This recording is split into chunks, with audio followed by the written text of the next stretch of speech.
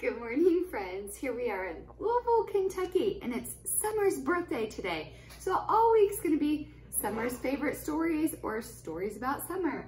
So if I were a princess, here's baby Summer. If I were a princess, I'd have a shiny crown. And dainty purple slippers to match my pretty gown. I'd waltz around the ballroom with my dad, the king. And I'd rest my head on silky sheets and wear a diamond ring. Each day I'd wear a different robe in purple, pink, or green.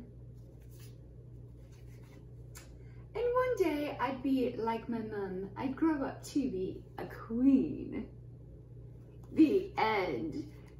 Happy birthday, Summer! See you soon, friends.